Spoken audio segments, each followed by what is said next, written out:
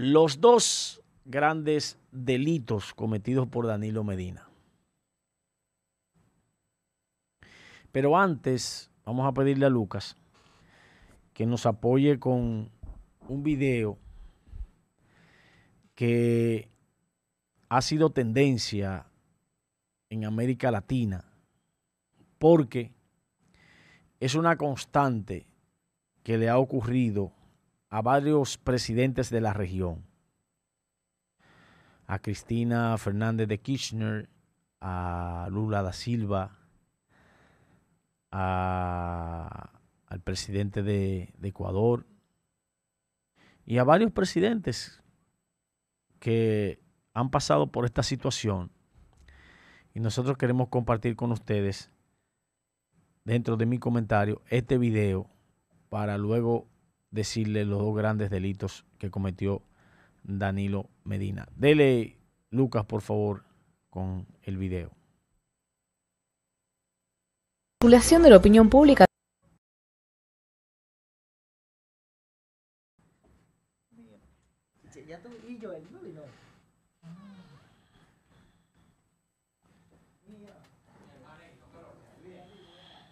Estas características corresponden a un proceso que se denomina lofer, usar o abusar de la ley, logrando un objetivo político destituyente.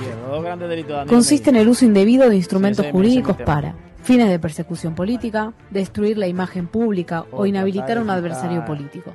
Combina acciones que parecen legales con una gran cobertura mediática que ejerce presión sobre el adversario y su entorno, haciéndolo vulnerable a acusaciones A través de expertos que manejan el lenguaje jurídico, buscan deslegitimar y perseguir personas públicas populares opuestas a los intereses que se quieren privilegiar. Al Poder Judicial se lo combina con un rol importantísimo de los medios de prensa que accionan sobre la opinión pública. Lo que se busca es lograr que el adversario pierda apoyos y también que no disponga de posibilidad de reacción.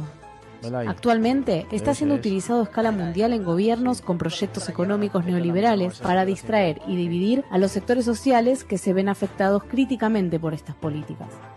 Para defender la democracia que el método Lofer pone en riesgo, es importante desenmascarar estos procesos judiciales y detectar cómo están accionando en América Latina.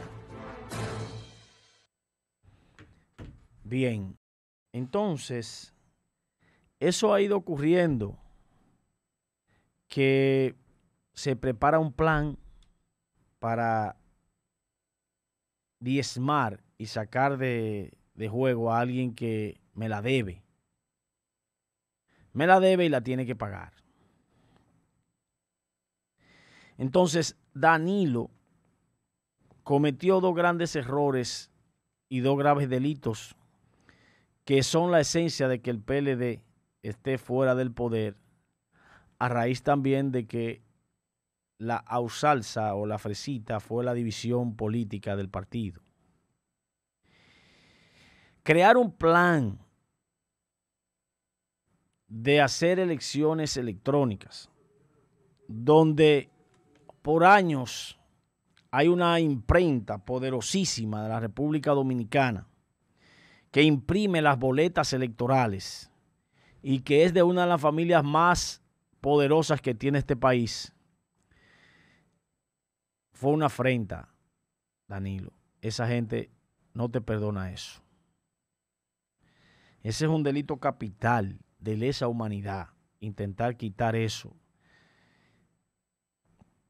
Y él encontró en franca violación a la ley, en franca violación a todos los acápites que podían suspender unas elecciones municipales, que solamente podía hacer el Tribunal Superior Electoral y fue hecho señalado por la Junta Central Electoral por temor a esa estructura poderosísima del país que usted intentó desmontar del sistema.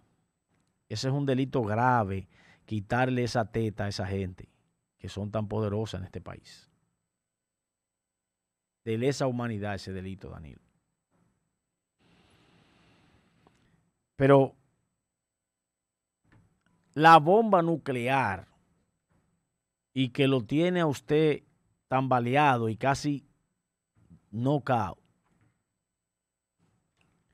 Fue usted osar en desafiar a los grupos económicos más poderosos en la historia que tiene la República Dominicana al sector eléctrico.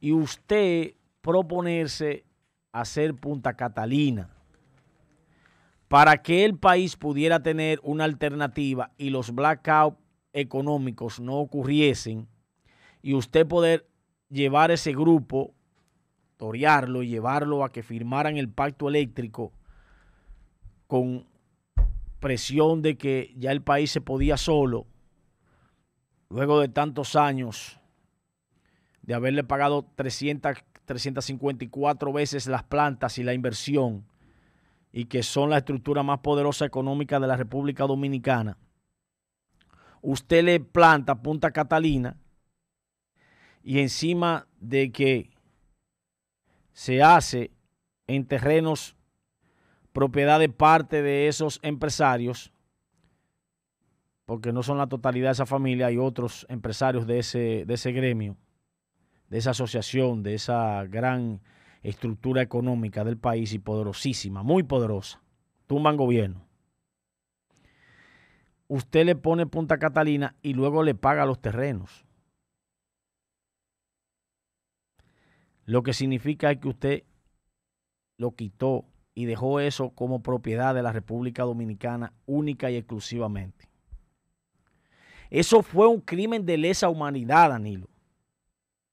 Haber hecho eso le ganó a usted el odio acérrimo de esa estructura económica porque usted atentó contra la economía sólida que representa ser un empresario de ese renglón en este país. Y esos son sus dos principales y grandes crímenes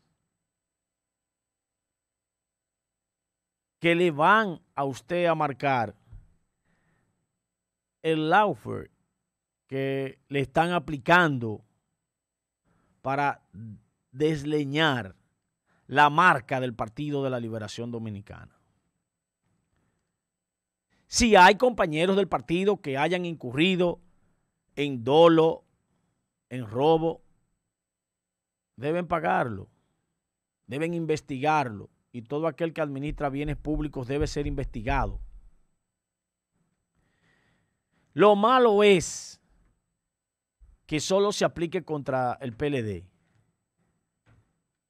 y que se aplique con esa hazaña de desacreditarlo totalmente, utilizar medios de comunicación de alto impacto, alimentándolo con publicidad y dinero para golpear fuertemente a quien pudiera ser tu adversario en el próximo proceso eleccionario.